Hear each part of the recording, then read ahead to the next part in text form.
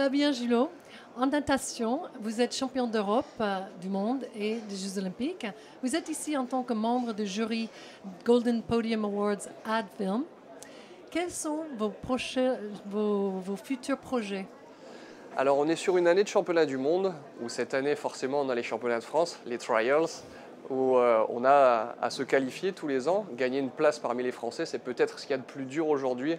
La natation française est tellement dense que avoir son ticket pour aller participer à la compétition internationale, c'est ce qu'il y a de plus compliqué. Mais donc, euh, dans un premier temps, les championnats du monde cette année, et bien sûr, on a tous dans un coin de notre tête euh, Rio, les Jeux Olympiques.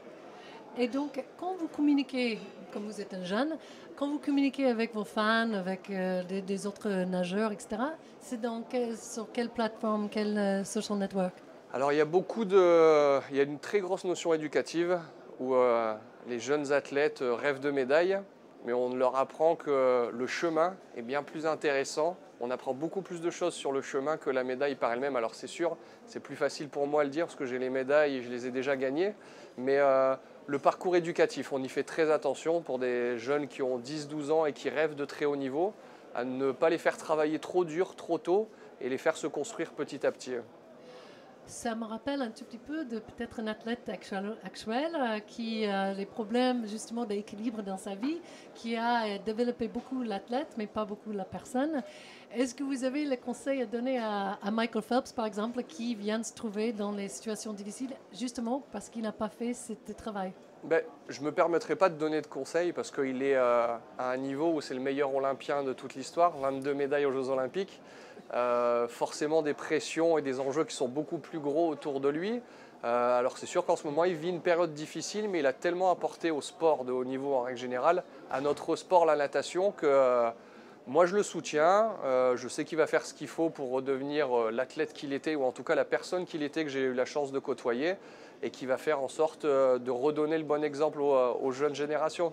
Et qu'est-ce que vous faites pour garder cet équilibre, pour justement pas vous trouver à, à 29 ans comme lui, avoir tout fait pour un sport, mais pas forcément euh, autre chose dans la vie qui vont vous donner des frissons comme vous avez vécu euh, avec les championnats que vous avez fait Mm. Ben, je pense que la dimension familiale, dans un premier temps, où je suis euh, très proche de ma famille, ce sont les gens qui tout de suite n'hésitent pas à me dire si je change ou si je me trompe de direction. Et ensuite, j'ai trop vu d'athlètes dans ma jeunesse réussir à gagner des médailles, changer, devenir des personnes arrogantes et euh, se détourner du sport de haut niveau et de la raison pour laquelle on le fait. Euh, notre passion, que je ne veux pas devenir ça, tout simplement. Donc euh, je m'efforce de rester humble, de partager. J'ai eu la chance de croiser des grands entraîneurs, des grands nageurs qui m'ont donné, qui m'ont appris énormément de choses. Et aujourd'hui, à 30 ans, je suis plutôt vers la fin de ma carrière, donc je me sens le devoir de retransmettre aux jeunes qui arrivent. Est-ce que après la natation, il y a quelque chose qui, vous- intéresse, une passion que vous voulez suivre? Euh, J'aimerais rester autour du sport, ça c'est une certitude. Euh, manager d'un club sportif me plairait énormément.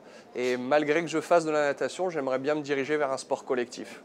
Et est-ce que le média, la presse, le- les, choses comme ça vous intéressent? Est-ce que vous pouvez imaginer être consultant euh, comme Denis Charvet? Est-ce qu'il y a des choses comme ça euh, Euh, après les Jeux Olympiques de 2012, je me suis fait opérer de l'épaule. Donc j'ai arrêté six mois et j'ai été consultant pour France Télévisions. Et cet hiver, j'ai fait le choix de ne pas participer au championnat du monde en petit bassin, qui est pour nous une compétition moins importante où il y a moins d'enjeux. Et je vais de nouveau commenter pour la télévision. Donc euh, peut-être qu'un jour, je me retrouverai derrière le micro définitivement. Et quand vous voulez parler euh, euh, à vos fans, qu'est-ce que vous faites? Des tweets? Comment vous pouvez communiquer Hum, C'est sûr qu'aujourd'hui, les réseaux sociaux, c'est difficile de s'en passer. On est très suivi dessus. Il faut même faire très attention à ce qu'on écrit parce que euh, c'est très, très rapidement repris par les médias. Mais ouais, c'est là. Aujourd'hui, c'est le moyen le plus simple pour communiquer euh, sur euh, notre actualité, pour euh, les, les remerciements après des grandes compétitions comme on vient de vivre encore cet été. Donc votre social network de, de préférence, c'est... Je dirais Twitter. Et est-ce que c'est votre première fois à Sportel C'est la deuxième. J'étais venu en 2012. Et vous êtes revenu parce que c'est... Comment vous trouvez cet événement euh, sportif de Bah, médias parce que je trouve que c'est une chance énorme déjà bah, de côtoyer des gens un peu des quatre coins du monde, des passionnés de sport, euh, parler autour des retransmissions télé. J'ai la chance de faire partie du jury pour euh, l'élection de la plus belle publicité de l'année. Donc euh, c'est, je dirais, une chance en tant qu'athlète. D'habitude, je suis en maillot de bain, je travaille dur pour essayer de faire en sorte de performer tous les ans et ça nous permet un petit peu, nous, de, de sortir des bassins, un peu de s'aérer l'esprit et c'est surtout de, de, de goûter au monde du sport qu'on n'a pas l'habitude de voir. Nous, on est souvent euh, à l'intérieur de l'écran et tout ce qui se passe de l'autre côté, on ne le voit pas souvent. Donc, euh, le Sportel, pour ça, c'est une superbe occasion. Vous savez qu'en fait, nos 25 ans, euh, cette année, est-ce que je peux vous demander de nous célébrer en disant en anglais Happy Birthday Sportel? Bien sûr, ouais. Happy birthday, Sportel.